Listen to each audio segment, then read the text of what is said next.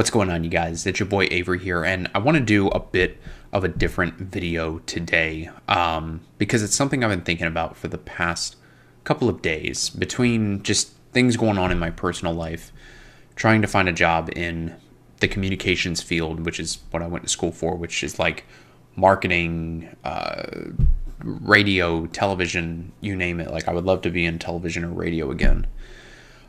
Between just personal things like that going on, and then trying to play test in Yu-Gi-Oh and get better and try and figure out Tenpai, possibly go to YCS Indy. There's just been a lot jumbling around in my tumor-filled brain that I've been trying to figure out and I've been really trying to improve as a player. And this leads to me wanting to talk about my love-hate relationship with Yu-Gi-Oh. This is going to be a bit more of a different video. This isn't necessarily Avery the entertainer, like this deck is booty booty butt cheeks. This is more Avery the player talking to you. And this all spawns from a conversation that I actually had with uh, Valley D a couple of nights ago. Shout out to him as always, my brother from another mother. Uh, some people have asked me in the past, like, why are you always shouting out that one friend? And it's because we've known each other for like 15 years. We met when I was 12. I'm 27 now. We've known each other for 15 years, but it hasn't been since like maybe a couple years ago that we reconnected because of Yu-Gi-Oh! And you know, hang out whenever like I go down to Tampa for my um, my MRI scans and stuff for my tumors down at Moffitt Cancer Center. Um, or even just talking on Discord, meeting up at regionals, whatever the case may be, right? Uh, he's a much better player than I am. Leaps and bounds. Like he's he's Super Saiyan blue and I'm over here at like Super Saiyan 3. Like he's got me destroyed, right? And he talked to me after we were playtesting one night because I was trying to play Volcanic FTK and I tried learning the deck it's very convoluted and complicated. It's very good. I see where it's good, but it's just not my play style. I'm more of a controlled and mid range player, depending on the deck. And he was talking to me about how I worry about these edge cases, like worrying about things like Shifter, where if a deck is playing it, they have a 33% chance to see it because three copies, 40 cards, you do the math. And he was talking about how he feels that I haven't turned that corner, so to speak, as a player, which he's absolutely right and it's healthy to have these conversations. Like, it's not like he's busting my balls, right? Like, he is giving me genuine criticism and feedback as to how I can improve as a player. And you need that person to kind of check you, right? Like, you.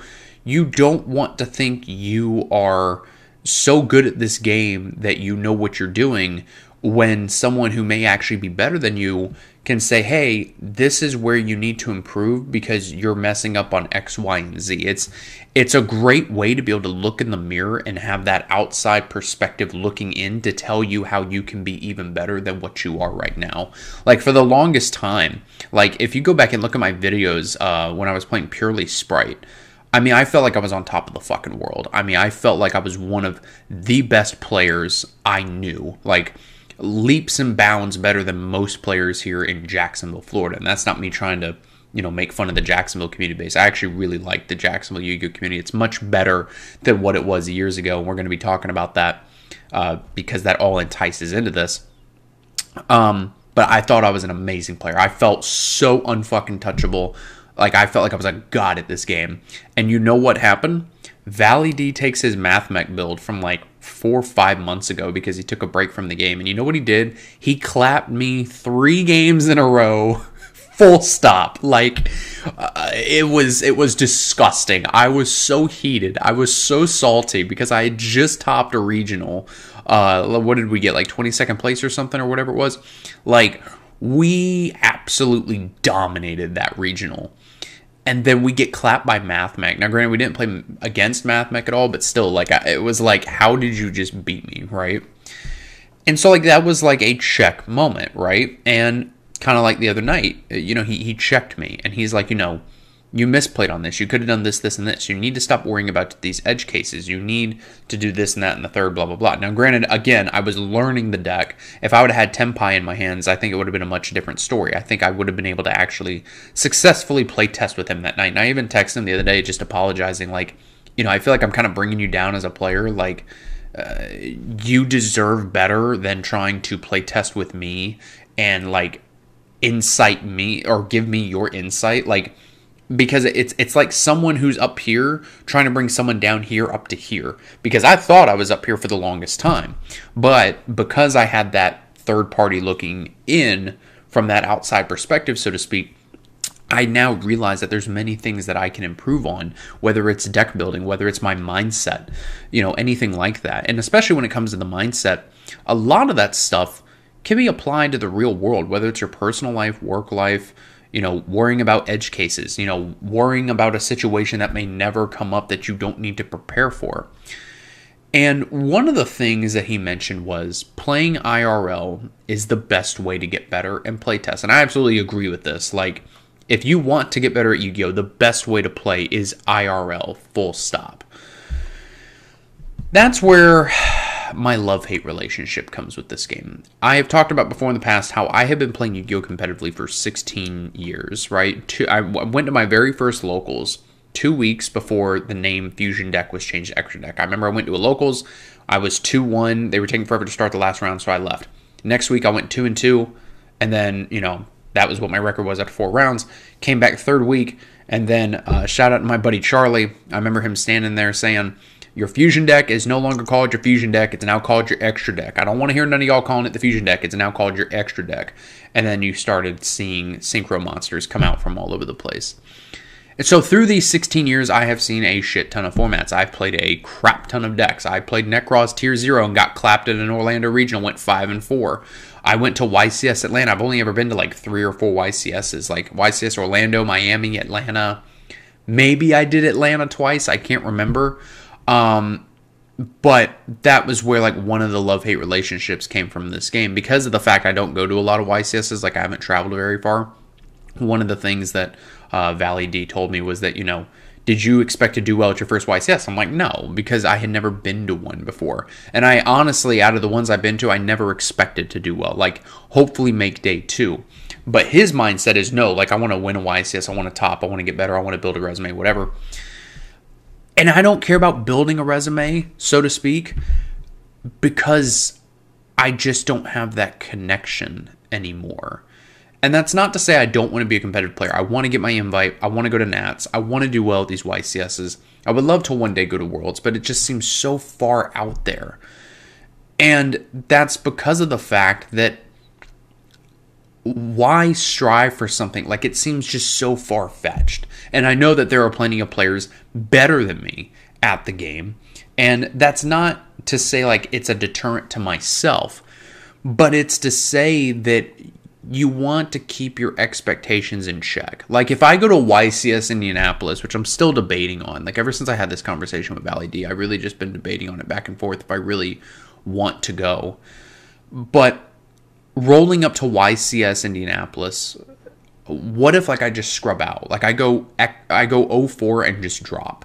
And then I'm heated like for the rest of the trip because I didn't get a single win at this fucking YCS. I'm playing Tenpai Dragon like what if that happens? Like that's the reason why like I don't travel all over the US to events because could you imagine me living in Florida? Could you imagine if I went to say California for a YCS and I just get clapped 5 rounds in a row and I don't get a single win? No matter how much I play test like what if that happens? I wasted hundreds of dollars on a plane ticket to go all the way to California, which is a dumpster fire in of itself right now, not to mention that. Pay out the wazoo for a hotel pay the 20 plus dollars to get into the event to get my cheeks clapped like that i guess that's more of a fear than more of an edge case than anything else depending on how you look at it. But that's what i think about. Bringing it back to the community as a whole. I absolutely love the jacksonville yu-gi-oh community. I think the people that are in it now are leaps and bounds much better than the people that were in the scene when I first started playing competitively, going to my first locals, but eventually becoming a competitive player when I was 12 years old, because there were some assholes in the community. And not everybody was a jerk back then. There were great people. And I think that this has is like the underbelly of the game. I think that this is something that's not discussed a lot. And I, I want to talk about some of that because I think it really highlights the point. Um, but again, I want to push home the fact I'm not trying to hate or call out anybody that's currently in the community. If you're local here, the Jacksonville community, I'm talking about like the people that show up to like our locals, right? Like that are there on a regular basis, not people on like the Facebook page who like don't really play Yu-Gi-Oh anymore, right? Um, we all get along, right? Like if I see people, like I hang out with them and talk with them but that's also the issue, right? I don't go to locals every Wednesday or every Saturday, every Sunday, you know, what whatever dates are are out there for Jacksonville. That's because of the fact that as I've talked about before on the channel, I tend to whenever like a regional or like, you know, a YCS or something's coming up, I will buy whatever deck I want to play and then I turn around and sell it and I keep, you know, the hand traps, the staples, right? Like, you know, I'm not going to sell my Forbidden Droplets. I'm not going to sell my Raigekis. I'm not going to sell my Monster Born. I am going to sell, for example, my Diabellstar Black Witches, my Wanteds, my Flamberge, my Promethean Princess, the Raging Phoenix, so on and so forth, right? And because of the fact that I don't see the community on a regular basis because I don't have a fucking deck to play, why am I going to sit on something that I can get hit on a ban list and I lose my ass and money, right? I feel like because of the fact I don't see them on a regular basis and I don't build these relationships, I feel like I'm a fish out of water in the sense of I feel like I'm just a foreign person in a totally different world compared to when I first started and I was going to locals every week. I was meeting these people, I was getting to know them little by little over time. Now it's like I show up to locals and everybody's like, yo, Avery's here at locals. Like, what's up? Which in a way I appreciate, right? Because like I don't see these people often, and so if they, I feel like at least I'm not seen as a scrub in the community because of the regional tops that I've had, um, because of how long I've been in the community. So I'm even though I may be seen like a dinosaur, like an old man or a grandpa, whatever, I have that knowledge, like you know, back in my day kind of thing. So I have that type of insight into the game. So I guess that kind of garners some respect. But yeah, like they're like shocked anytime I walk in a the locals, like, yo, like Avery's actually here. Or they may joke and say, what kind of, you know, table 500 deck are you playing? Because I'm usually playing something off the wall.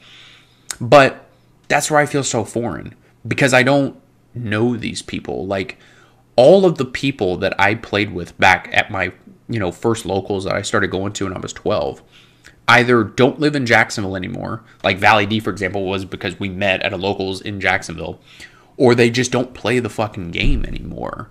Like it, it's a totally different landscape. Imagine if like you move to a different state or a different country and you don't know anybody. That's what it feels like when I go to locals. Like again, I'm cool with these people. Like it's not like they're dicks or anything. It's just it's so foreign to me now. And on top of that, there have been some issues in the past. I'm not going to name names here, um, but I am gonna, you know, call them out for the bullshit. There's a particular player in Jacksonville who doesn't play anymore, garnered um, a good reputation, meaning like he was a good player, but he fucking cheated. Perfect example. Oh, YCS Miami. I think that was the. I don't know if I mentioned that YCS, but that was a YCS. That was uh, YCS Miami actually. Back when uh, Mermails and uh, Windups were seeing play, my dad made day two with Chamberlain. It was actually pretty crazy. He ended up losing to Windups. But a particular player from Jacksonville played against him and cheated him with Moulinglacia. Mono Glacia, the Elemental Lord, was one of very few cards back in the day that had a hard once per turn restriction and you couldn't conduct your battle phase. If you summoned Moulinglacia, you could rip two cards out of the opponent's hand, but it was a hard once per turn. So if you had access to three Moulinglacia, you couldn't rip six cards out of the opponent's hand. You could rip two cards. That was all that you could do. You could not rip six. Well, he looped his Moulinglacia and ripped my dad's hand. And then a mutual friend of well, I guess not a mutual friend. Well, yeah, mutual friend of the guy who cheated my dad, but he was a friend of ours. He tells me and my dad, like, yeah, so and so cheated you with Moulinglacia. And, like, I kind of lost respect for him after that. Like, I've talked about him by name in the past on the channel. Again, I'm not going to name who, I'll let people figure it out. But he cheated my dad, and, like, he fucking knows that he did. And it's just kind of toxic. Like, I've met even players too who like would argue with me during like a match because they were salty and then like they try and act like all friendly like you know months later like a year later and like I know what they did like I don't know what they were trying to do. One story in particular that I have to talk about. We're going to call this person douchebag, right? Uh, douchebag was partners, we'll call it in 2024 terms, with another guy who I'm like still friends with to this day. I just don't really talk to him anymore, right?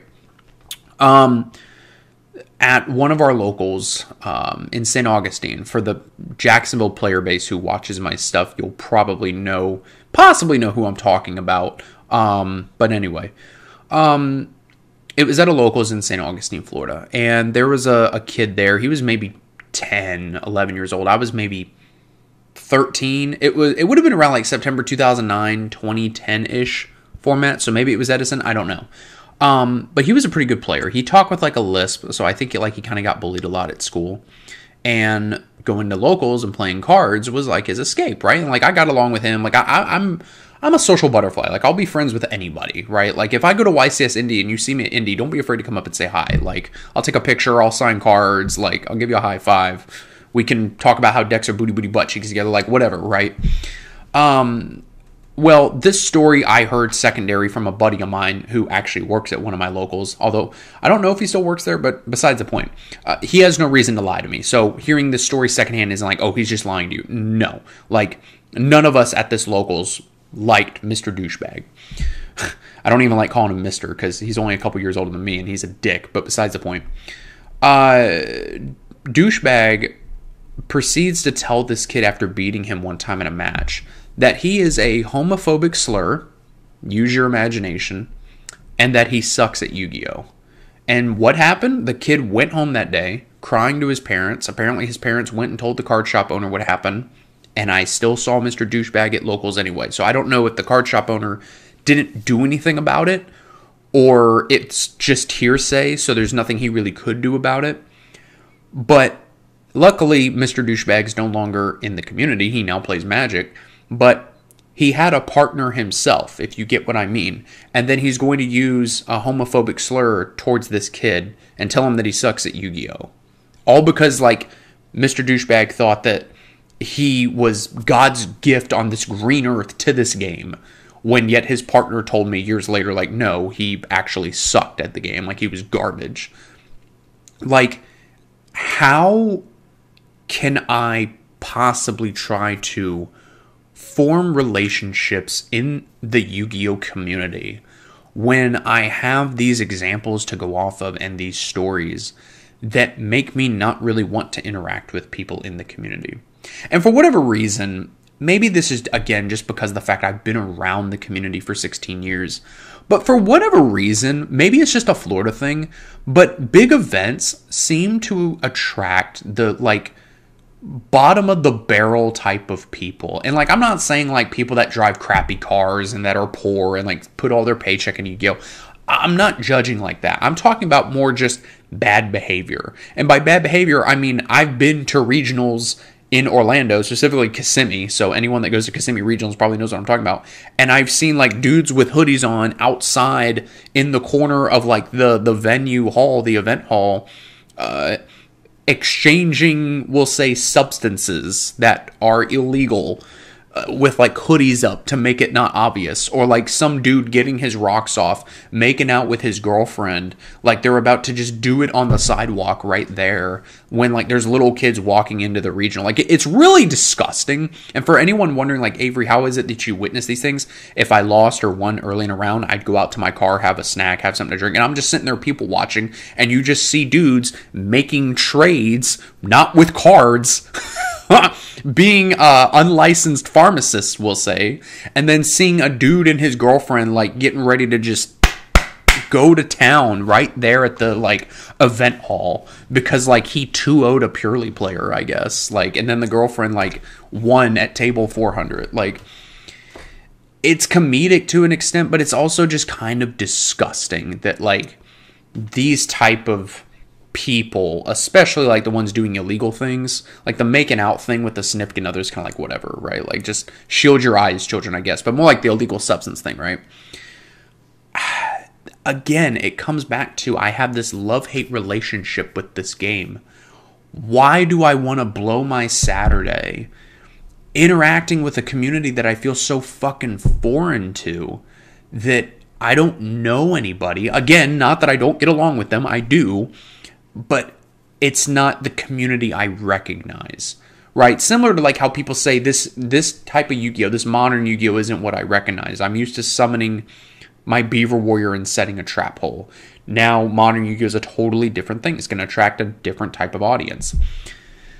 And so that was one of the things I was trying to tell Valley D the other night when we had this conversation. But my my brain was so just out of gas at that point trying to play Volcanic FTK and kind of just feeling down about the whole situation that there is a lot to learn that I have to do to get better at this game. As much as I want to be a Jesse Kotton or a Joshua Schmidt, it also applies to life though too because one of the things I'd love to do is make a documentary. I've been kind of bouncing ideas around my head. Could you imagine if I made an hour and a half long like documentary and I posted it here on the channel and we interviewed like Billy Brake from Konami or big name Yugi tubers.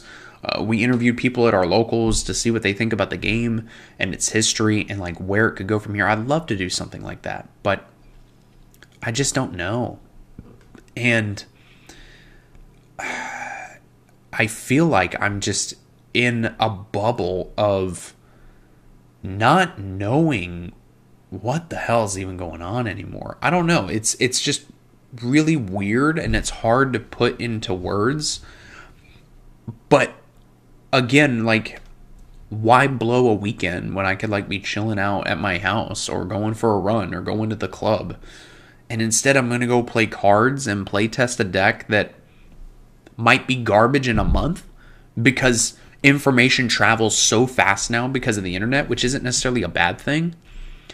But then to sit down and try and play test with whether it's Valley D, whether it's Joe Blow, whether it's whoever, and then get judged for my plays just because they think that they're better than me, so they're instantly like supposed to be the winner and be the gift on God's green earth to this fucking card game, a, a card game made for children ages seven and up. But I guess these people don't have anything better to live for, so they have to be a god at Yu-Gi-Oh and like make people feel bad about it. And like in that one example, calling a kid a homophobic slur and telling him that he sucks at Yu-Gi-Oh and that he never comes back to locals. It's a tall ask to say to me, Avery, you're going to build a deck and you're going to go to locals every weekend when, like, you just got all this other shit going on. And, like, you don't really want to interact with people who may not even give a crap about you or may just think that you're a scrub at the game and talk shit behind your back. And like you may be thinking, Avery, this sounds like high school drama because it is. And I'm not saying anyone in, in my local Yu-Gi-Oh community does that. It's just the things that I've lived through. It's the things I've experienced. You, if you're in something for over a decade, you will experience a lot of fucking things throughout your lifetime, good and bad. And at the same time, that's why I try and focus on all the friends that I've made along the way. At the same time, all those friends I've made along the way have either moved away or just don't even play the game anymore. But here I am trying to go to locals and play test and somehow get better. And I know I'm not a scrub. I am by far a much better player than many others. I would consider myself in the Jacksonville community among the top 20. Maybe that's a tall ask. I'm sure someone will be a smart ass and say, You're number 20 or 21. Sure. Like, I, I, I can roll with the punches. But the point that I'm making is that I feel like I'm a good player. And I feel like I'm not the only one who's maybe experienced something like this. And as much as I want to get better, as much as I want to be someone that Valley D or whoever else feels like they can play test well against me or see me as a good player, like I guess being seen as a good player is cool, but I don't know, maybe someone will just say you don't want it bad enough. You're right. I don't want my cancer to take me off this earth sooner than earlier. I guess I just have to get good, right? But it's out of my control you know, some days feel like you're just slowly withering away like Thanos snapped the Infinity Gauntlet. Other days you feel like you're a god at Yu Gi Oh! Guys, let me know what you think down in the comments below. This has just really been on my mind, and I wanted to just get it out into words and kind of talk about some of the things I've experienced playing this game for 16 years. Not all of it bad. We've talked about good stories. God, I can think of so many funny things that have happened. Like, whether it's like I don't know, uh, recognizing a Yu-Gi tuber and they're like, listen, man, I gotta go take a dump. I'll be right back. Or taking what many Yu-Gi-Oh players call the pregame shit after right after you register for that regional, pay your money, and you run into that regional venue and you blow up that bathroom, and then you run out of toilet paper before round one starts. Like so many funny memories have happened like that. But guys, thanks for watching. I love you very much. And I'll speak with you again very, very soon.